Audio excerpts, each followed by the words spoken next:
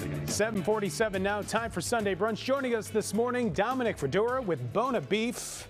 Dominic, you're bringing some good aromas here to Studio 2. Good morning. Definitely. How are we doing today? Doing all right, my friend. Uh, so, uh, Italian beef is something that I grew up with. My grandpa had his own recipe.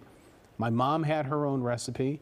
Uh, and then I realized when I moved out of this area that Italian beef does not exist everywhere. Yeah, definitely. It's uh, it's local to Chicago. It's just a little delicacy coming from Chicago, Italian American immigrants, Yeah. and it's grown with Chicago's history of just creativity and innovation, and just coming up with so many different food, um, Right. you know, delicacies. Right. So let's talk about how to make Italian beef. Of course, Buona Beef, one of the many options that we have in this in the city, uh, and it's not exceptionally hard to make. You just need to have patience. Yes, exactly. It's all about the roasting process. We start with a lean cut of sirloin. We hand spice it with some Italian spices like salt, pepper, oregano. And then from there, we get a nice hot skillet and we pan sear every size of this roast. You could do a small roast, a big roast, and then during this process, you want to get it nice and dark and crispy. This is going to create a caramelization that you're then going to reduce in Yeah. the roasting process. All right, and then we put it in the oven, Yep. low and slow,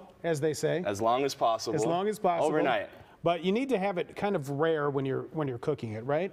So you take it out at what 145 or so. Yeah, you don't want it to be too dry. You still want it to be nice and juicy. And Slice it thin. Slice it thin, reduce the gravy, add a few more spices into it to create such a good stock, which you're then going to add the beef right back in. And of course, one of the the secrets is having the the proper bread. You cannot put this on a hot dog bun. Yeah, so uh, at Buona, we get Turano bread fresh every single day.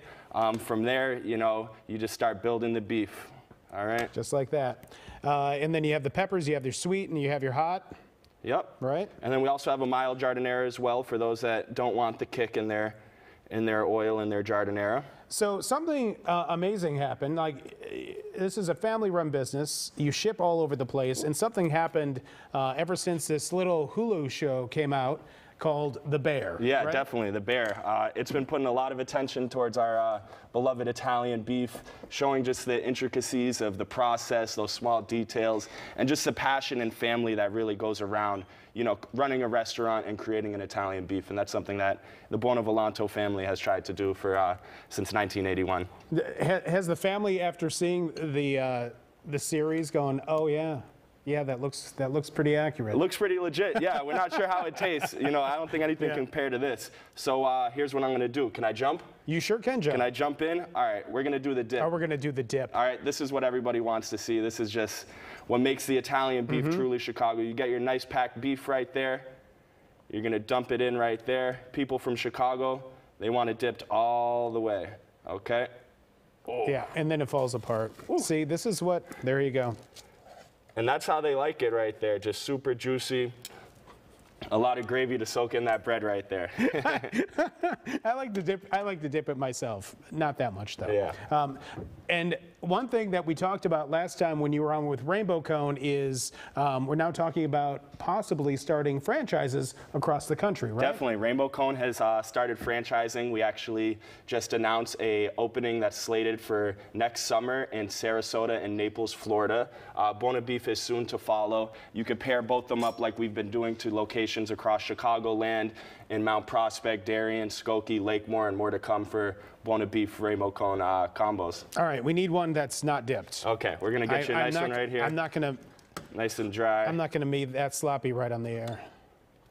I, I do like. I, I do like the jus though. I do like the jus. Yeah, I like to get a little bit on the side so I could dip each bite fresh. That's right. Or pour a little bit on top. All right. I have a whole nother hour of this show to go, so if I get it all over me. All right, what do you like, hot or mild? Oh, we do we do the mild. Okay. Is this the hot? No, this is this is the hot peppers. That's this it. is the sweet Sweet sweet, peppers. peppers. right there. So, uh, what we're gonna do So you're here? putting the hot on? yep, putting the hot on. Did I say hot? yeah, you said mild, but, Oh, but we're gonna we're give gonna you the heat. it We're gonna give you the heat this right. morning. What's im- what's important about the giardiniera right here is this oil right here. Some people like Yeah. to get oil on the side. Yeah. Pour it on top right there. So we're gonna. Oh well, why don't why don't we put some beef with our giardiniera? The other way around, well, we did do something like that. We stuffed it in between a rice ball and made an arancini. Hey, uh, by the way, Gator, You're going to have to do the rest of the show on your own because I'm not sure. I'll be rendered speechless. after Oh, you're going for it? Yeah, why not? You're going friend? for it. There we go. Why not? We're gonna we're gonna dip it. Oh, you're gonna dip it? Yeah, We're gonna straight dip it a fresh. little bit. Yeah, There people go. argue over the beef. You got to be the first one to make the beef, so you Why get don't all we the have any music going on with this? We need some like Some Frank Italian, something. Italian, yeah, exactly. Frank Mm. Sinatra set the mood. All right. Mm. I got it over me anyway. In a matter. One other Chicago classic. Yeah. Got a little charbroiled Italian sausage right here. this Oh, is the my combo. favorite. This is a combo. Okay? You gotta Yeah. load that beef right there. Get a little more beef on top. This is a big bite. Okay? It's it's spicy. There it's we go. Spicy. Man, I tell you what, my Italian grandfather is never impressed with my inability to handle the heat. Buona, of course, uh, located all over the Chicago area. You can also catch them at all Northwestern home football games, and you can order Italian beef sandwich kits, which I've done for friends around the country. You can find that on their website. the buzz is next. Wow, that is spicy, Yeah, Dominic. Thank definitely. you.